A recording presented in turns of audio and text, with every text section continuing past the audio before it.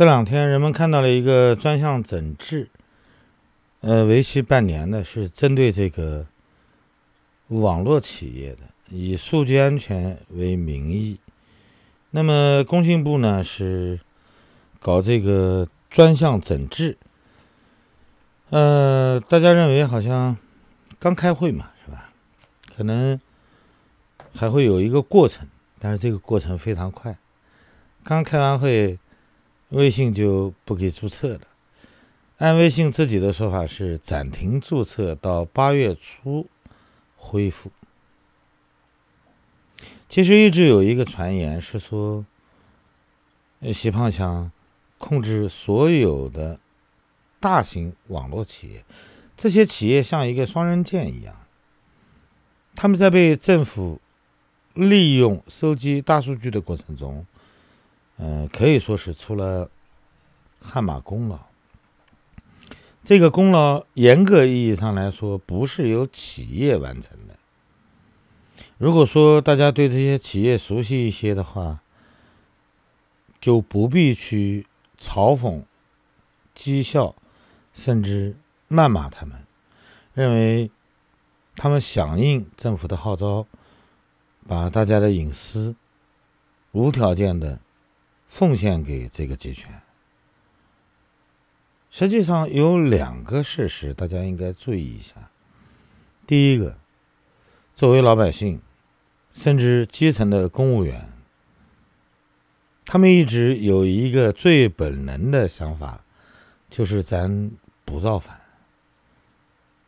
咱知道有人在监控，咱没有什么可担心的，叫什么呢？叫质押隐私来换取更多的安全。他不怕你监控他。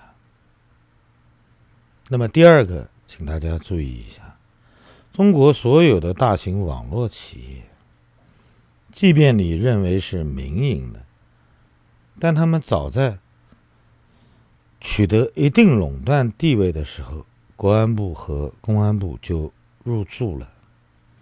涉及到监控的不仅仅有这些企业的技术人员，更多的是专业的监控人员。就像文革期间。国安部暂时被解散了，那么有没有人做类似的工作呢？在公安局里专门有一个监听处或者叫八处，他其实干的就是国安这个活呀。所以不要指责这些企业，或者说突然你发现了啊，这些企业原来在监控我们，其实早就有监控了。而做监控的这些人，他本身就不是企业的正式员工，他是在编的妥妥的工具。那你说到了今天，什么人应该担心呢？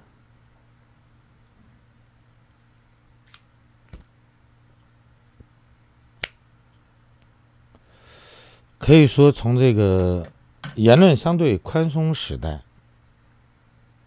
就在发表着对社会上的一些不公的现象进行传播、揭露、抨击，甚至调侃过西胖的，都属于不安全因素。很多人现在是后知后觉，认为今天中国看到的这一切，显示出习胖有多大的决心。其实，共产党从来就没有放弃在对全民监控这一类的事儿上的关注度。那么，原来大家常用的是平面媒体，你注意看一下每份报纸，它的中缝下面都有一行字：“某某某宣传部监制。”啊，大报可能是中宣部。那么省一级的报纸呢是省委宣传部，那在下一面，你平常经常会看的，譬如说晚报、晨报，啊，下面一般都是市市委宣传部。那么电台、电视台这一类的被谁占领了呢？你听起来好像是广告，是吧？但是我告诉你，私人或者说民营企业是插手不到电台这个行业的。那电视台你就更不用想了，你听起来好像这个是合资，啊，那个是卫视啊，你看到了股权有几次更迭，啊，民营的趋势越来越大，份额越来越大，甚至有一些报刊杂志、电台、电视台在他们的宣传中已经国际化了。那你想想，他们归谁管？那中宣部嘛，对不对？党的舆论战士跟外交战线是两个红色基因最聚集的地方，连续可能有十几年了。无论是宣传口还是外交口，丑闻迭出，是因为技术官僚越来越少，依靠红色基因进入这两个口子的人。把整体素质拉下来了。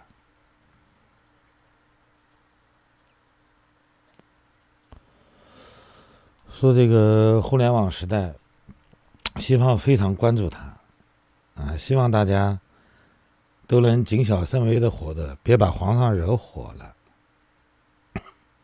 但你现在知道已经晚了呀。之前我们看到，对一些垄断企业、大型企业这种打击，甚至罚款，而且，呃，罚单都是几百亿人民币的级别，大家认为天方夜谭，怎么会呢？但它都已经出现在你的面前了，没有任何人在这个政权面前是安全的，当然也不存在任何企业会获得豁免。那么，工信部这次重点打击的，其实有几个方面。按他的说法，四个方面要严打八类问题。那哪四个方面呢？扰乱市场秩序、侵害用户利益、威胁数据安全和违反资源和资质管理规定。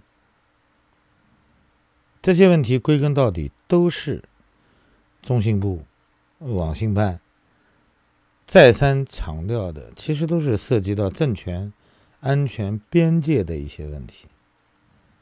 你认为他是在保护网民的利益，或者说保护你的信息？呃，其实你想多了，是吧？他要的是独占权，或者说他有第一时间拥有所有信息的权利。仅仅是分享。他都认为满足不了他现在的要求，连公安部前段时间都开始谈防止颜色革命了，说明他对统治的合法性心里打鼓。那么他现在非常担心一片热油沾上了外来的冷水，把它激化了。没有人知道这个政权能维持多长时间。很多人都还在说，共产党这么强大，嗯，他的成员都快上亿了，嗯，再统治个二三十年都没有问题。那是你的想法，你只看到了他的庞大，没有看到他怎么维持这种庞大。利益阶层过大的时候，整个社会将负担不起。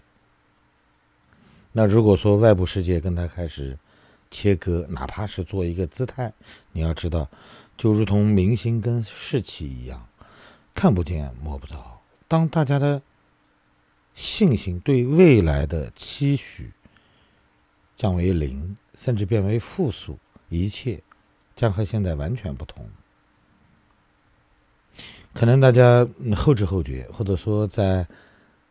呃，国际行情啊，传导到中国社会各个层级的过程中，认为有一个时间差，暂时你还感觉不到，但你不要忘了，习胖这个政权，包括他们各部门的管理者，非常清楚的知道，呃，他们在国际上不受待见，在国内呢呃，丧失了人心。他们不断的在钳制舆论，甚至重新把他们手上的这些工具，啊，这些网络企业就类似于工具人一样，他们自己还不放心，还要再三的清理，一轮又一轮的严打，打的都算是自己亲生孩子了，你还感觉不到他的恐慌吗？好了，谢谢大家。再见。